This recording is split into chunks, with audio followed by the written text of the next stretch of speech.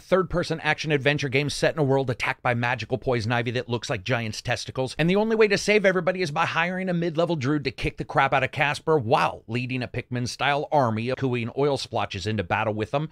That's Kena Bridge of Spirits by Ember Labs for $40 coming out for PC and PS5.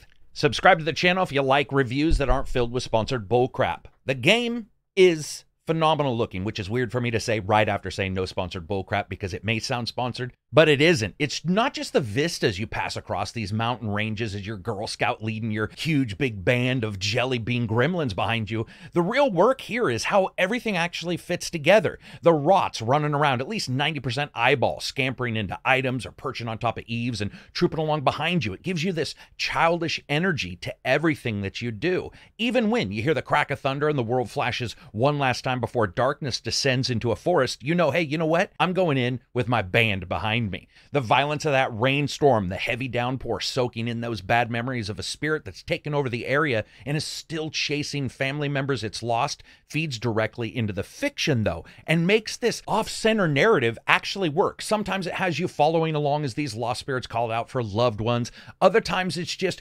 interspersed with more thoughtful, almost playful moments, directing the rot to help you explore the world or unlock some new location. It spans out into massive platforming moments with you trying to figure out how to get to the highest tree or around some poison alley so deep in the infection that it doesn't make sense to even try to take it on head first. As with the forest location I just described, a good deal about Kena's look is the excellent lighting, noticeable right from the start as you walk through the cavern, and with each step, her face is illuminated just a bit by that soft light of the crystal, or the red corruption of enemies as they come out of the ground. Kena's use of color work means that obstacles such as the forest dead zones are desaturated down to almost nothing more than that corrupt and pulsating red, losing the vibrancy and the color of the normal forest. And then as you defeat the enemies, that saturation comes back. Something that we've seen in other games like Saboteur, but visually it works incredibly well. The cutscenes everybody's seen, it is profoundly beautiful. There are small graphical elements in the gameplay, though, that I was surprised to see, like a lucky rot leaping on the top of your head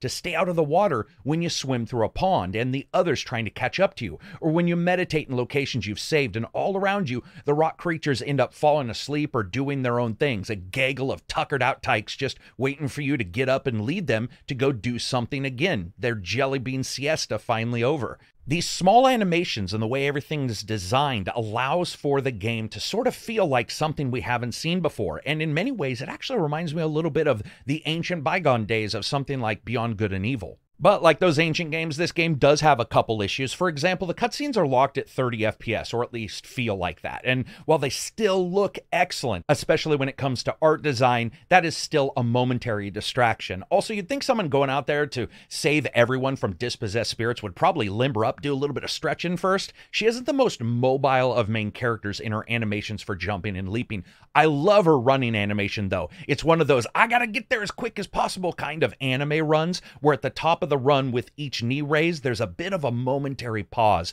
and it gives that sort of jerkiness to a character that's just got places to be. And while I was talking about bad things, I got to bring up one other good thing, though. The later battle has you fighting a minion created from a dude corrupted by this evil magic. And the animation as he jerks and jolts into being encased in about 500 pounds of Arbor Day armor, it just comes sprinting at you. And there's this awesome feeling of weight. And speaking of waiting, you're going to have to wait for a better video card to play this. No, with all the settings on Ultra except for post processing and volumetric fog, the 2080 was well above 60 at 4K. The 1080 could hit 1440p at the same. One thing to be aware of is that both post processing and fog hit the FPS pretty damned hard without a real big noticeable difference in their performance sparing opportunities versus graphics. I was surprised how the game ran because the draw distance, if set to ultra, spans out miles. And while it's not exactly drawing in enemies at 2,000 paces, it's still showing a huge amount of the real estate much of the time. And when it's doing that, it looks one part painting, one part nature documentary, well, also done in oil paints a fantastic looking game. It's got some issues here and there and occasional drops in frame rate for, let's say, a load, but overall, it's phenomenal looking, and I love the design.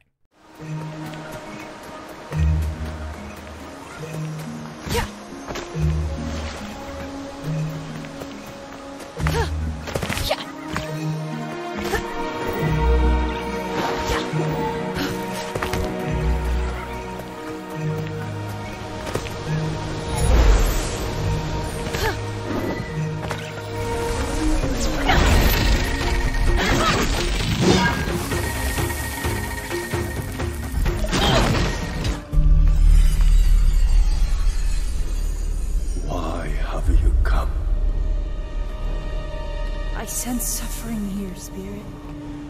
Do you need help? You know nothing of suffering. This is my home. And admittedly, most of the audio design is also very good. If you play this on a surround sound with a receiver or any other 4.1 or above system, you're going to be rewarded. The audio is incredible, especially environmentally. The forest sounds, the creaking and groaning of the different trees around you as you explore.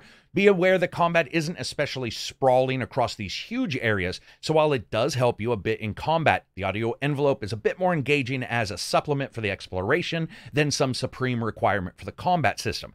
Hit sounds and stingers and environments are all meted out well, regardless if you're using 2.1 headphones or true multi channel surround. An issue I did have in a couple cutscenes, it didn't seem to switch over and it didn't play the voices. It seems like those cutscenes might just be in stereo, and the system had a bit of an issue there. I'm going to chalk that up to possibly Windows instead of the game. Voices are excellent, though I would say Kena isn't really replete with a huge number of characters, so it's not necessarily surprising. Kena's voiced well, has to be the highlight there, but the voice actors for the children are phenomenal. This is notoriously difficult in video games to get kids' voices right. They usually can't act yet, or it's adults pretending to be kids, and it feels more like a Chris Hansen moment than a Jim Henson moment. That fat cheeked sound that kids have when they're excited about something when they're young fleshes out perfectly across the board. Musically, though, man, what a surprise. It mixes Bali's musical traditions with more orchestral elements from big budget movies than I ever could have expected. Battles beaten down to just percussion and the occasional string section. The game's often multi layered use of vocals helps this tremendously. It adds this spiritual, ethereal feeling to almost all of the tracks it plays. It really does bridge the gap between expected game music and traditional music that we don't expect, but that reflect wherever the game is trying to get some of its spiritual drawings. And that's what we see here. Very well done. Speaking of very well done, let's talk about gameplay and the story and see if they are. First, it's best to go into Kena knowing what's offered. That question's always raised. What does a game offer when I'm entering into contested environments and genres such as a 3D platformer slash action adventure game? This is usually followed by people trying to tell you that you might as well just play some old classic game instead of buying something new. Brain injuries aside, this is a good question, and Kena is offering something that isn't shockingly different from a lot of other games. Instead, what it delivers, though, is a profoundly focused expectation and delivery across the board. The story itself isn't completely unknown. It's a girl with the ability to commune with dead spirits. She comes to the aid of a village that's been set upon by this darkness that has taken over the land. Kena is a spirit guide, and in this world, masks are created for the dead, and as they pass into the spirit world, the masks will crumble into dust. If they don't, then a spirit guide can help them out. And yes, that means exactly what you think. Help the tormented souls by beating the shit out of them like a five foot staff wielding extra in Ghostbusters. And if that doesn't work, you can always sic your goofy troop of Pikmin legless freaks behind you onto them as well. And to get to those enemies and see what enemies you're going to get, the game starts out with each location opening up like tributaries, hubs from that center location, which is a village that occasionally you are going to return to for quests as well as story progression. Now, Kena starts out platforming mostly from location to location and opening up new spaces by interjecting and figuring out ways in which physical puzzles with skills that you have can be worked together. One of the first things that you end up learning is the burst ability. This is the ability to shoot out your spirit and act activate various stones in the game world. These sometimes have to be done in order, sometimes they're not where they're supposed to be, and other little physical intricacies that you'll find. Kena is also equipped with a staff that has light and heavy attacks, and you can also lock on or not lock on depending on what you want to. There's also multiple different difficulties you can choose. As you work through the locations figuring things out, you gain experience that you can end up spending on different moves, as well as gathering more members of the Rot, which is basically a team of creatures that you can use to help you in the game world. Each one of them also plays out in their own cutscene when you get them, and there's a ton. I think that show of polish was something I wasn't expecting. And while you can use them to battle, for the most part, you're going to be using your staff, your bow, or others. When you jump in to buy these skills, there's only a couple. You have your shield, and later on, you get the bow, as well as the ability to manifest your power into spiritual attacks. The upgrades, there's not a lot. Adding the ability to transform the staff into a hammer, or slow down time with the bow, or use a quick counter parry. It's not exactly new territory, but it works for this character. And those moves work well enough, especially in coordination with the Rot and what they can do. You can stun, for instance, enemies with them, which might help you get an arrow shot into a huge weakness that cripples the boss for a good deal of damage,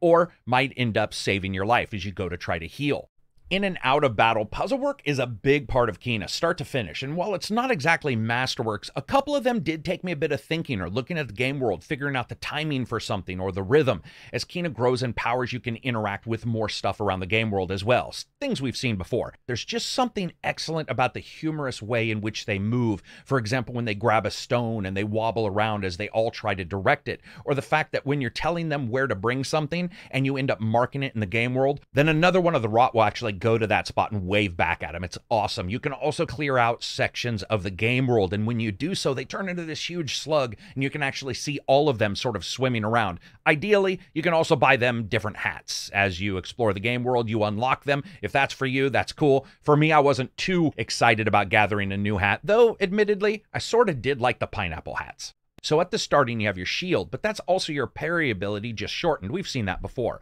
But also here, it's how you burst out power into the world and affect the stones and open up doors. Your bow and arrow is gauged on your spirit. It needs to actually recharge between groups of attacks, but it's also just an extension of the ability you're already aware that you have. The same thing with your exploding bombs that you can end up using later. Also, where there aren't that many types of enemies, most of them are varieties of different vegetation that has been corrupted by this. You could use all these special abilities on the enemies, of course, but I liked the way they played. They did actually offer differences in how you ended up having to face them. And when a boss shows up on the harder difficulty, those guys ain't no joke. But was it fun while I did it? Yes, it was. It's enjoyable in the way I was actually hoping Kena would be. It's that relaxed bit where you're just moving from spot to spot, figuring out a puzzle, offering up enemies until that mini boss shows up and pounds you back into an old save game. The enjoyment here for me was the exploring. It was figuring out a new puzzle. It was going to a new location, looking at a spot and saying, How do I get there? And knowing that I could because you see some visual cues. And then once you get there, that satisfaction of doing so.